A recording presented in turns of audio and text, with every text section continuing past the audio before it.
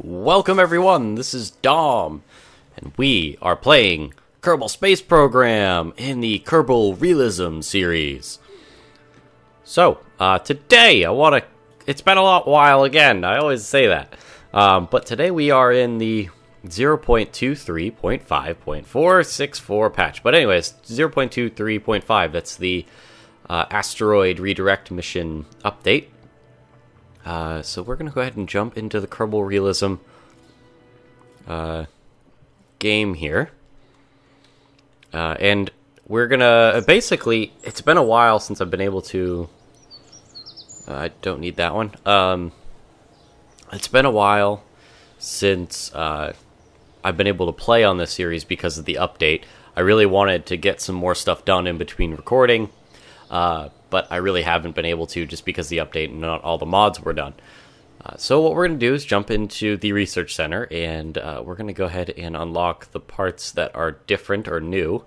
I've already unlocked because I've been testing some stuff out. The because everything got shifted down one level, so the Rockomax or whatever the, the Mainsail engine used to be here, now it's here, and the skipper engine used to be here, now it's down here.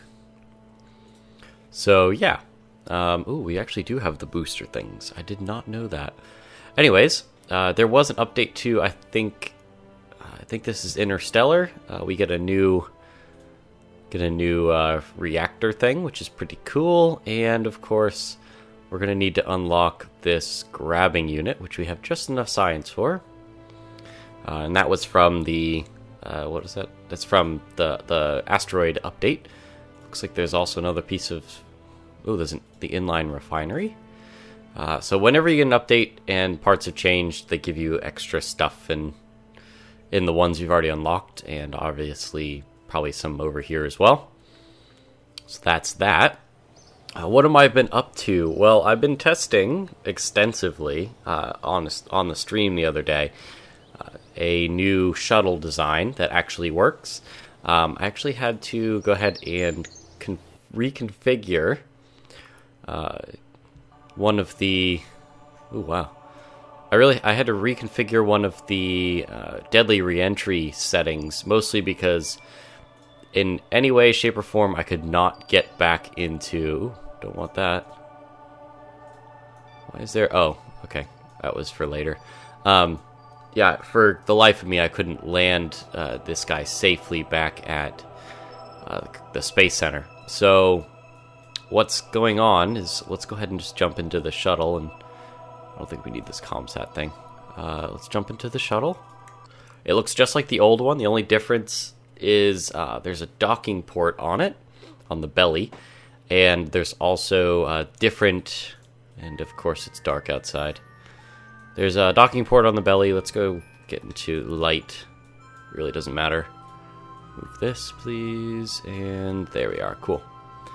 So yeah, there's a docking port here. I think that works for now. Oops. And uh, there's new landing gear. That's the only differences, uh, and I think I also changed these, but we have to go back to the old ones. We're going to need to go back to the old ones.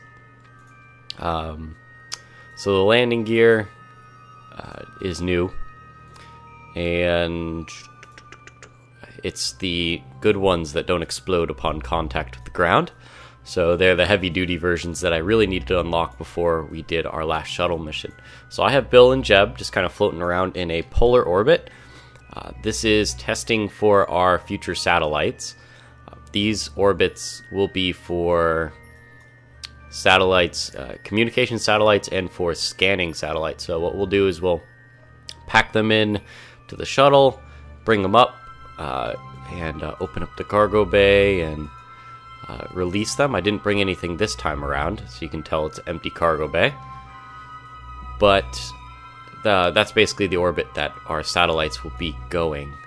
I also need to start updating all of our communication satellites. So where's ComSat 2.0? It should be somewhere. There it is.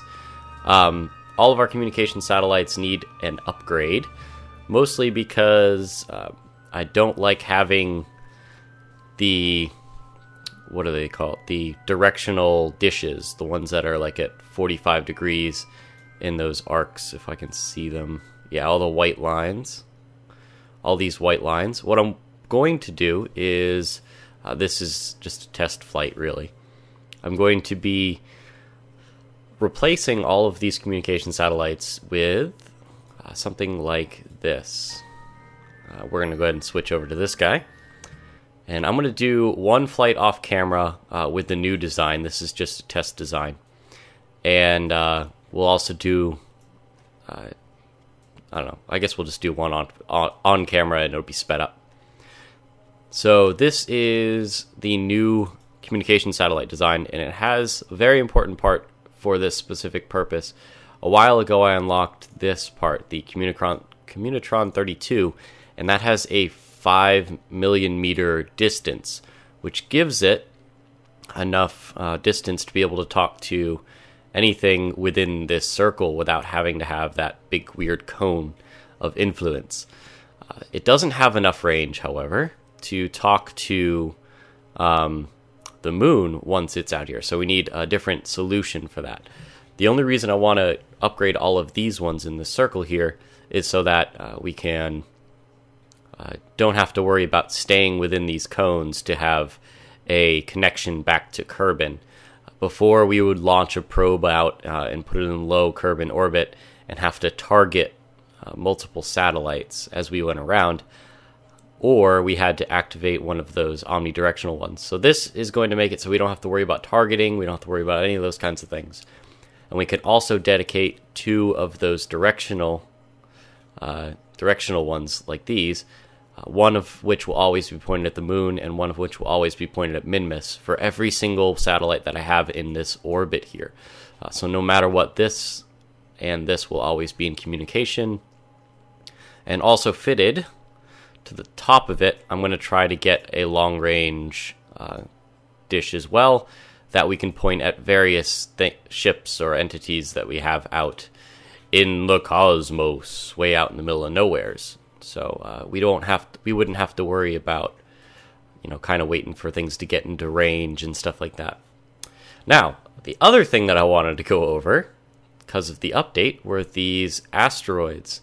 And uh, this specific one right here, it has its. Um, we are going to actually jump to the tracking station here. This is uh, my target of interest. The rest of them are, they're more or less, eh, they're okay.